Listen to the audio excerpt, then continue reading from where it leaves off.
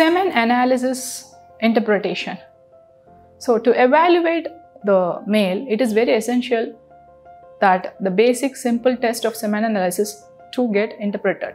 So, generally, the semen analysis can be done either in the home or in the lab.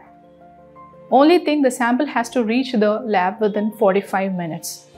The second thing, it can be done either by means of masturbation or can be collected by means of a special condom at home. The third thing, the interpretation can be done either by means of computer assisted semen analysis or by means of manually. Both are going to give equal results, neither is superior nor is inferior. The only thing is that before collecting the sample, the patient should clean the local parts after retracting the skin.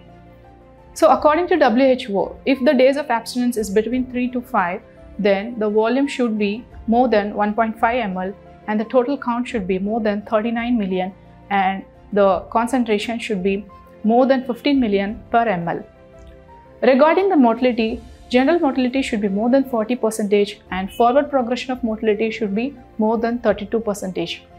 And the structure of the sperm, that is the morphology, if it is more than 4%, it is sufficient to get the normal semen analysis report. And also, the possibility of infection should be ruled out by looking into the round cells. Thank you.